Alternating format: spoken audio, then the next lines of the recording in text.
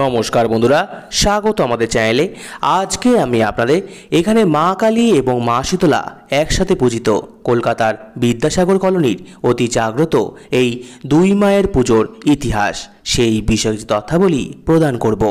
Video তথ্যটি আমার একজন সাবস্ক্রাইবার দেবজ্যোতি রায় আমাকে প্রদান করেছেন। তথ্যটি তাদের বিদ্যাসাগর কলোনির অতি জাগ্রত মা কালী এবং মা শীতলার পুজো সম্পর্কিত তথ্যাবলী। তথ্যটি আমাদের সকলের সাথে শেয়ার করার জন্য দেবজ্যোতি রায়কে অসংখ্য ধন্যবাদ। আপনাদের কাছে অনুরোধ, ভিডিওটি আপনারা সম্পূর্ণ দেখুন। পুজোটি অনেক বছরের প্রাচীন। এখানে মা কালী এবং মা শীতলার একসাথে পুজো করা হয়।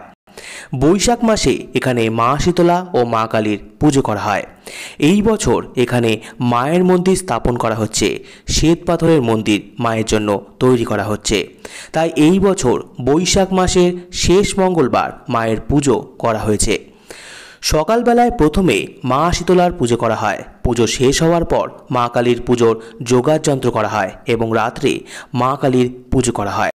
এখানে ডাব, একশো আটটি জবা ফুলের মালা দিয়ে ধূপকাঠি, মোমবাতি ও সন্দেশের সহযোগে মাকে পুজো দেওয়া হয়। এখানে বহু ভক্তদের ডালা পড়ে মায়ের পুজোর সময়। মা কালী এখানে চণ্ডীরূপে পূজিত। এখানে মাকে ভোগ হিসাবে ডাব, সন্দেশ, টক দই এবং ছানা দেওয়া হয়।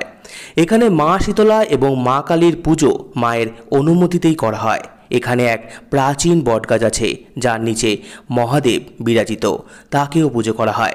এখানে সবার প্রথমে একটি কলা গাছকে পুজো করা হয় মাঠের পাশে, তারপর সবার পুজো শুরু করা হয়। পুজো সারা রাত ধরে চলে, আর মা শীতলার পুজো সকালে হয়ে যাওয়ার পর সবাই কুলো নিয়ে বেরোয়। প্রতি বছর কুলো নিয়ে বেরোবার সময় ঝড় বৃষ্টি হয়। এটি হলো বিদ্যাসাগর উপনিবেশ দাসপাড়ার শীতলা কালী পুজো। এখানে মা শীতলা ও মা কালী খুবই জাগ্রত। এখানে প্রচুর ভক্তের পুজো পড়ে। আগে মন্দির ছিল টিনের চালে। এখানে মায়ের নিত্য পুজো করা হয়। বর্তমানে মন্দির নতুনভাবে শ্বেত পাথরে তৈরি করা হচ্ছে। এখানে মা কালীকে ভোগ হিসাবে খিচুড়ি, আলুর দম দেওয়া হয়। আর তার সাথে পাঁচ মিশালির তরকারি, পাঁচ রকমের ভাজা, পায়েস, চাটনি, পাঁপড়, রসগোল্লা, দই, সন্দেশ এবং পান মাকে নিবেদন করা হয়।